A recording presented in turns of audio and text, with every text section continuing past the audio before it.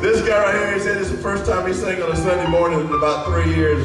But uh, he, sang with the Kingdom Heirs and the Inspirations, and he's singing in Holy City. We appreciate him so much. Lives in Asheboro, North Carolina. Him and his wife and his little girl.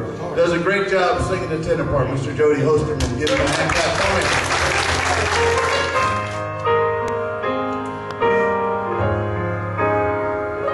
I'm glad that Jesus Christ looked down and knew that I would need a He my faults and saw my need.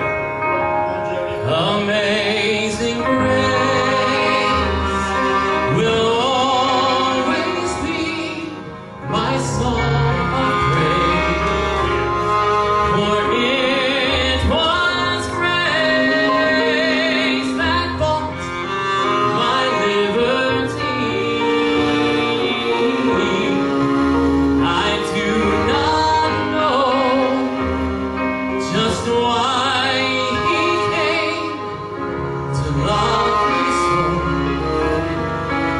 He looked beyond